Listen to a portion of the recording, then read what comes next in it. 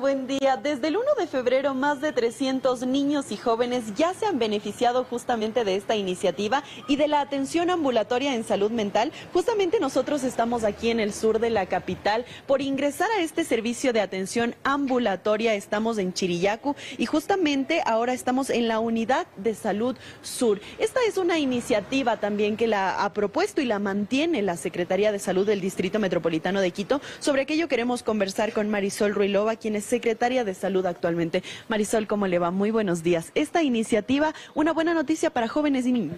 Así es, buenos días, eh, gracias eh, por visitarnos. Aquí estamos desde la Unidad Metropolitana de Salud Sur. En realidad esta es una disposición de nuestro alcalde que con su compromiso por la salud mental pues nos ha apoyado para poder abrir nuevos servicios que están eh, al servicio de la ciudadanía. Esto es la Unidad Metropolitana de Salud Sur con el Centro Ambulatorio de Salud Mental que beneficia especialmente a niños, adolescentes, pero sí a todo grupo etario. Pueden venir adultos, adultos jóvenes y adultos mayores también para beneficiarse de este nuevo servicio. Por supuesto, Marisol. Ahora vamos a ingresar a la unidad. Ya lo pueden ver en pantalla cómo es infraestructura nueva, instalaciones renovadas, pero también los servicios que se ofrecen a partir del 1 de febrero son nuevos, ¿no? Nuevos para la ciudad, nuevos en este punto. Danos un poco de detalle. Así es. Este es un servicio que no existía. De hecho, aquí funcionaba el laboratorio de una forma un poco paupérrima, digámoslo así, y nosotros lo repotenciamos para tener consultorios de psicología, de psiquiatría y también atención ambulatoria grupal. Y lo estamos atendiendo en un horario de 7 a 3 y media para todas las personas que así lo requieran.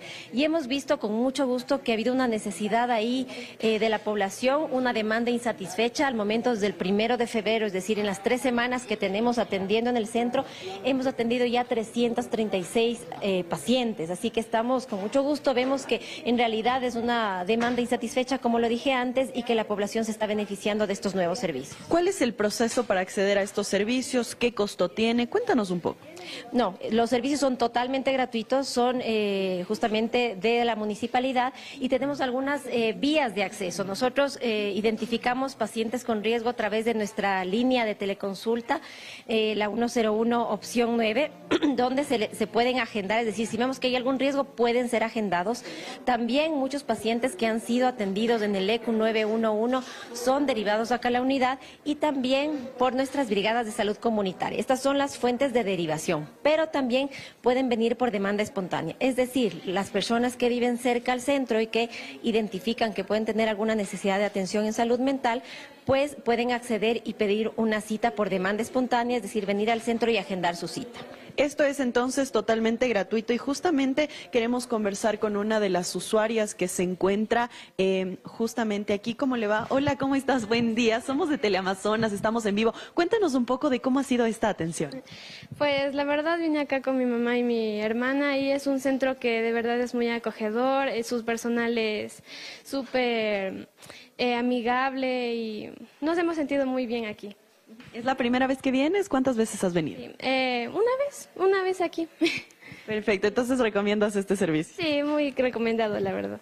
Muchísimas gracias, te agradecemos mucho. Bueno, esto es un poco de las instalaciones que estamos viendo aquí en la unidad de salud sur. Estas son las instalaciones en las que las personas pueden venir a atenderse, recibir terapia, acompañamiento, porque justamente Marisol, este es un proceso de acompañamiento.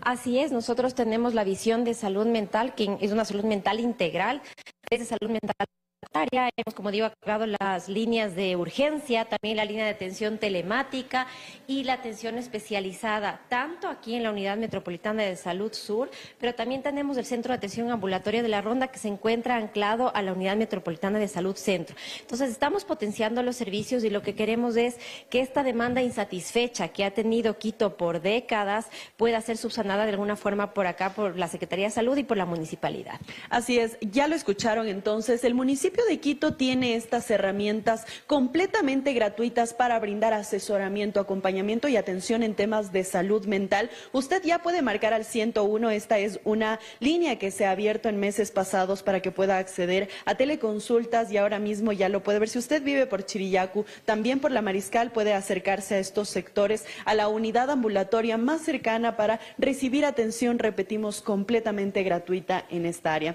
Es la información que les contamos a esta hora de la mañana. Usted continúan con más. Buen día.